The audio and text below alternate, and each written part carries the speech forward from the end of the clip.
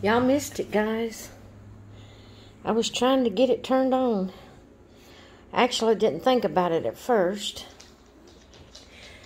But this one right here saw out the window that the mailman passed.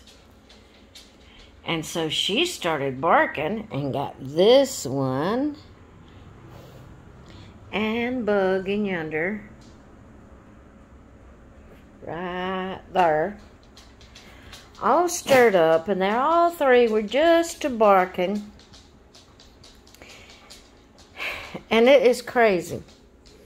Why is it dogs like to bark at the postman even when he just passes in the car? I mean he don't even have to get out. He don't even have to come to the door. Nothing. I don't understand why they bark at the postman. Mama just don't understand.